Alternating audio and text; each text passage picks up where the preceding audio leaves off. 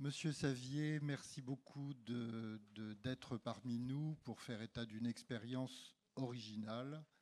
Euh, je vous laisse la parole pour nous parler de, votre, euh, de cette expérience justement. Merci pour cette invitation. Et puis, euh, je vais essayer de le raccrocher.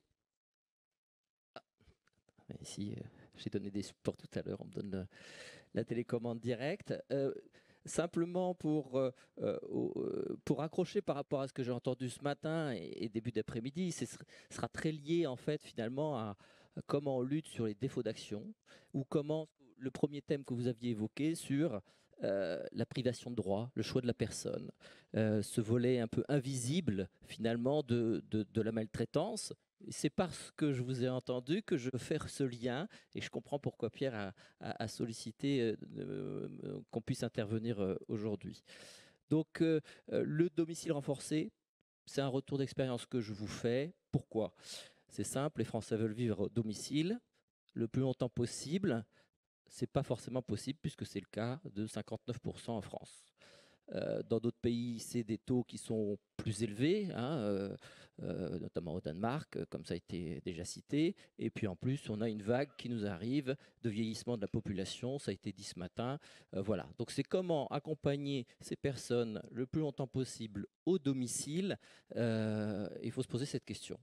Alors, il ne faut pas, surtout pas opposer le volet EHPAD et domicile. Je pense que, j'allais dire, il y a des choses qui sont possibles au domicile et d'autres qui ne le sont pas. À un moment donné, il faut aussi se, voir ça. Et je veux surtout pas rentrer dans tout ce qui a été évoqué côté EHPAD, ce n'est pas le sujet de, mon propos aujourd'hui.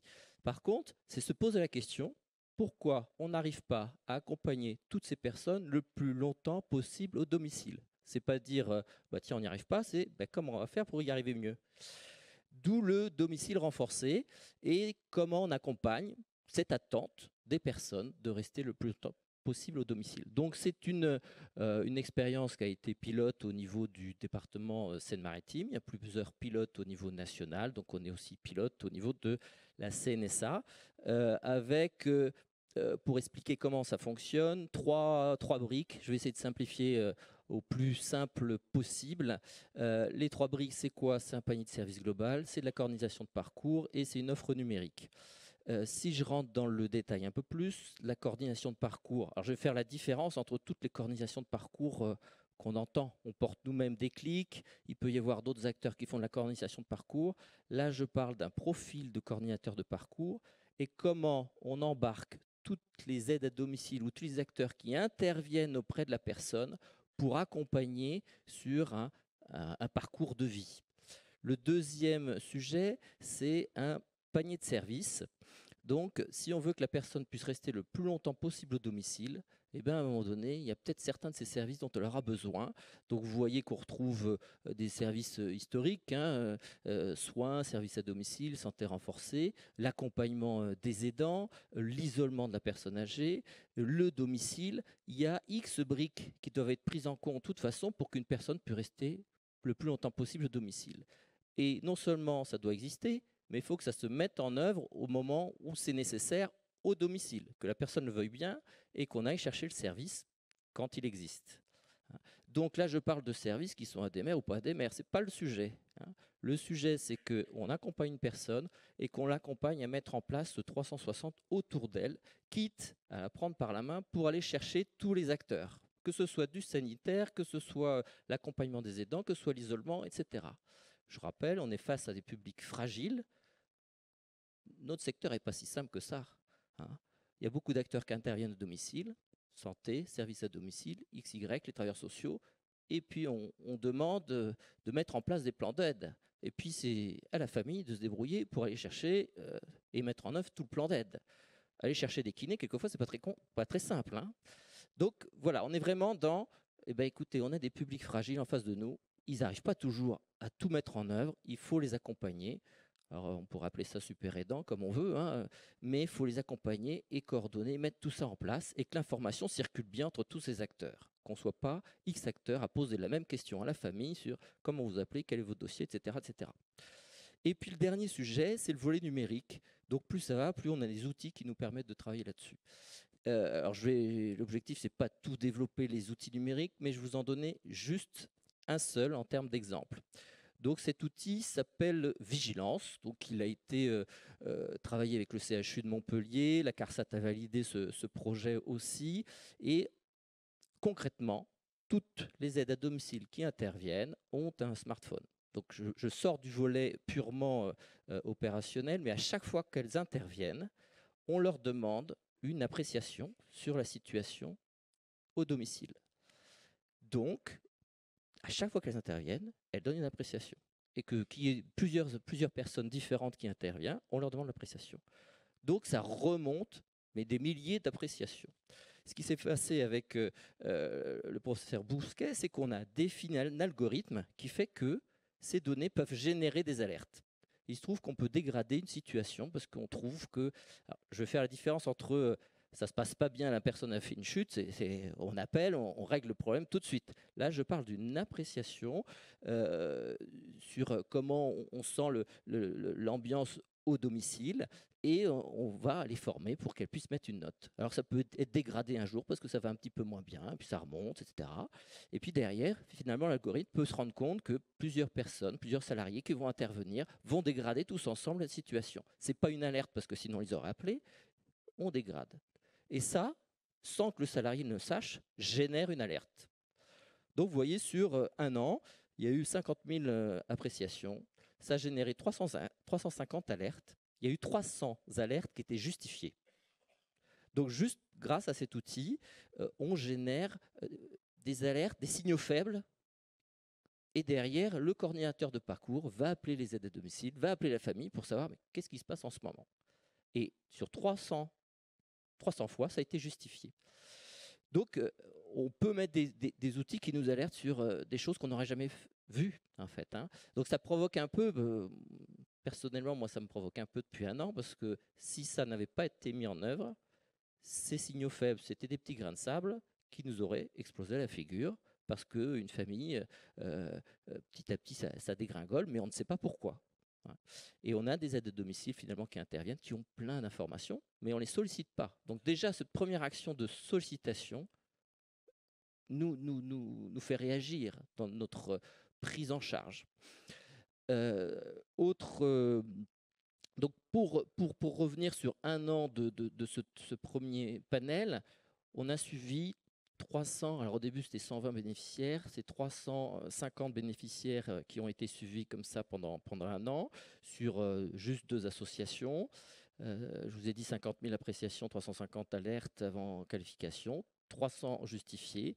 Et derrière, on a à peu près une quarantaine, une cinquantaine de, finalement de bénéficiaires qu'on va suivre de très très près parce que ces situations qui peuvent être beaucoup plus complexes. Il faut absolument mettre en œuvre tout pour qu'elles puissent rester au domicile. Euh, on est maintenant on est à 90 partenaires, c'est-à-dire que là je ne parle pas de partenaires que le coordinateur a appelés ou qui sont sur une convention. C'est 90 partenaires qui sont bougés, qui ont été au domicile pour régler une situation qui était dans leur périmètre, que ce soit du sanitaire, que ce soit un vitrier. Bah, excusez-moi, je me dis pourquoi vous avez comme partenaire un vitrier? Bah oui, les pompiers ils arrivent, ils explosent la fenêtre pour pouvoir rentrer. La personne part à l'hôpital, elle revient à domicile. Qui s'est occupé de la vitre euh, vous voyez, donc ça peut être euh, tellement large en termes de, prestataires, mais pourtant c'est des petits détails. Si c'est pas réglé, la personne ne peut pas rester au domicile. Euh, donc derrière, on a, on a mis en place tous ces sujets-là. Le retour d'expérience, c'est que finalement, 34% c'est du sanitaire. Il faut absolument qu'il y ait un corps, le corps médical, que ce soit ou des infirmiers, que ce soit des SIAD, etc., qui interviennent. Et puis tout le restant, ce n'est pas du sanitaire c'est soit du volet prise en charge sur le volet médico-social, ça peut être de l'administratif, ça peut être des volets euh, financiers, etc. Le périmètre des personnes prises en charge est très large finalement, puisqu'on va de la prévention. On est toujours à peu près sur des plus de 60 ans quand même où il y a, des besoins.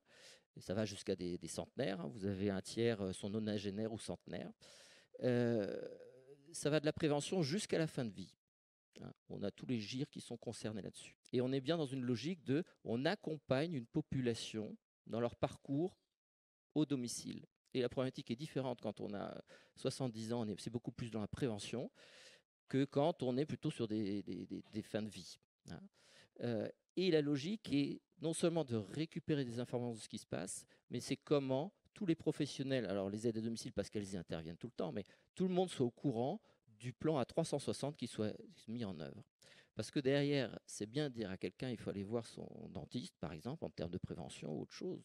Mais si c'est l'aide à domicile qu'elle connaît tout le temps et qui lui dit, bon, alors au fait, il faudrait qu'il faut que vous fassiez votre dentiste, il faut que vous fassiez ça, il faut que vous fassiez ça, et bien du coup, petit à petit, on arrive à faire bouger les mentalités de la personne qui n'a pas toujours envie de tout faire.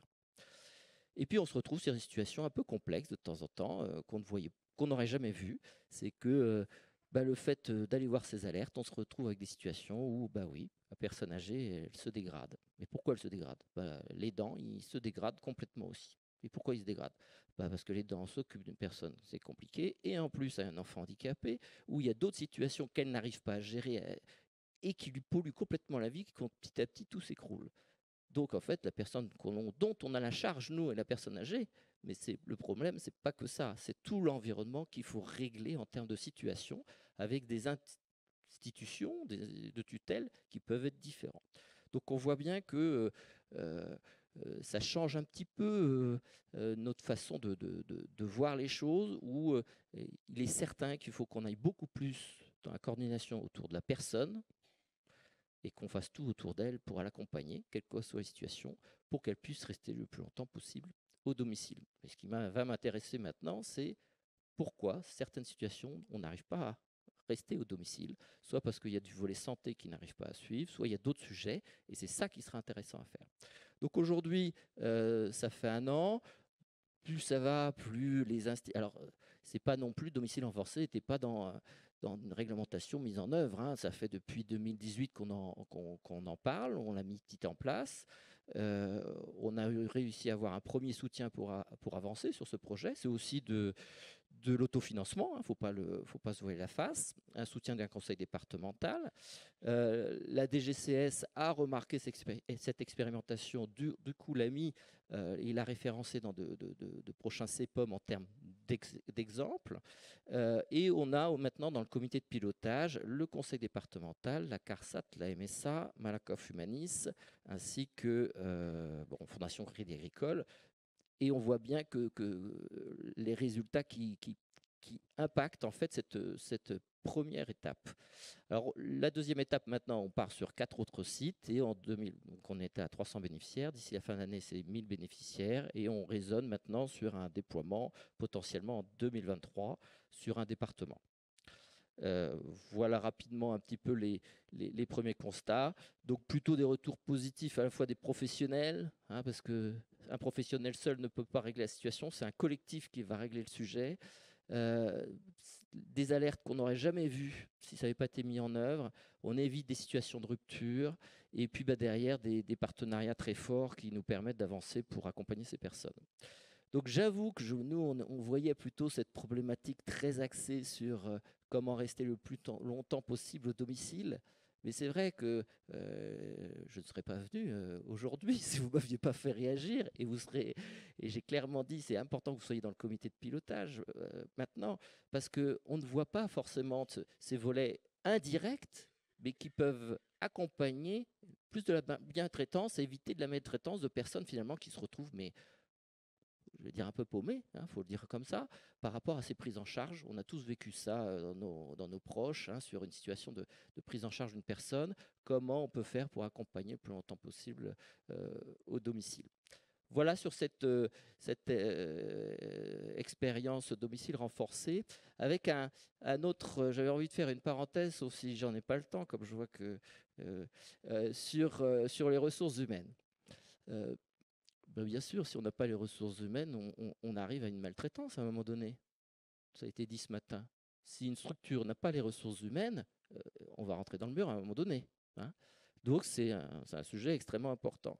Donc, comme le sujet là, il faut aussi changer nos façons de faire. Il faut provoquer aussi les institutions. Hein. Euh, domicile renforcé, ce n'est pas les institutions qui nous ont proposé de le faire. C'est à nous de pousser et d'avancer dessus. Le recrutement, alors moi j'ai une approche un peu différente. Sur en maritime euh, oui, le service à domicile n'arrive pas à recruter, le volet santé aussi n'arrive pas à recruter. Euh, nous arrivons à recruter. Donc c'est 250 CDI depuis le début de l'année. Alors je ne vais pas rentrer dans le détail de euh, comment on a changé les, process. Hein. C'est qu'il y a de la formation, trois mois de formation avant que les gens arrivent, etc. On a une force, c'est qu'on a un métier qui a un sens. Hein. Et ça, si on ne se bat pas là-dessus, il y a plein d'acteurs qui cherchent un sens à leur métier. Donc, ce volet-là est super important, c'est-à-dire qu'une structure qui n'arrive pas à recruter, à un moment donné, potentiellement se retrouvera maltraitante de façon involontaire. Donc on a intérêt à se battre pour trouver les ressources. Alors il y a, quand même des ressources encore à recruter. Euh, rien qu'en Seine-Maritime, comment ça se fait qu'il y ait 40 000 RSA par exemple hein euh, Il y a encore de voilà. Et alors il y a d'autres professionnels. Alors autant les domiciles, on peut prendre des gens, c'est le savoir-être qui est le plus important, parce qu'on ne peut pas être plus fragile que la personne dont on la charge. Et c'est à nous, et il faut se battre avec les institutions pour que l'employeur qui signe le CDI, on lui donne tous les moyens pour pouvoir intégrer, former les personnes pour avoir les compétences après. Ce qui n'est pas si simple. Hein. On je, me bats avec la région parce qu'elle a ses propres process. Et alors le domicile renforcé change aussi la donne. C'est qu'aujourd'hui, un coordinateur de parcours, quand on parle de domicile renforcé, c'est 120 candidatures un médecin, je ne sais pas pourquoi le médecin a postulé du reste, 40 infirmières. Dans notre centre de santé infirmier, on a du mal à recruter et j'ai 40 infirmières qui postulent sur le domicile renforcé. J'ai des coordinateurs d'EHPAD, j'ai des travailleurs sociaux, etc. Parce qu'à un moment donné aussi, on a peut-être des professionnels qui ont du mal à se retrouver dans nos propres façons de faire, nos organisations, et que eux, ils ont un sens, c'est leur métier, et que prendre en charge à 360 degrés pour que la personne aille mieux, peut-être qu'ils se sentent mieux dans une structure où ils peuvent agir dans ce sens-là, plutôt que peut-être dans un SAD ou un centre de santé infirmier, où ils n'arriveront pas. Donc euh, ça change complètement la donne sur euh, un centre de santé infirmier que nous avons, on a du mal à retrouver des infirmières sur ce métier-là, et j'en ai 40 qui postulent sur l'autre. Parce que derrière, il y a peut-être nos organisations qui sont à revisiter et qui ont un sens aussi par rapport aux professionnels qui postulent. C'était ma petite parenthèse.